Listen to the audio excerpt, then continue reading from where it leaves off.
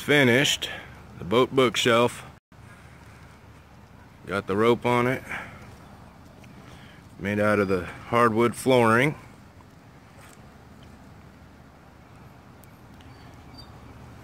It's kind of hard to see. It's uh, the sun's going down, but there she is. And then on the back, we got a little wire where you can hang it from the wall if you want to. Or you don't want to hang it, I put carpet sleds on the bottom so you can slide on the tile or set it down on the tile somewhere on the floor, on the carpet.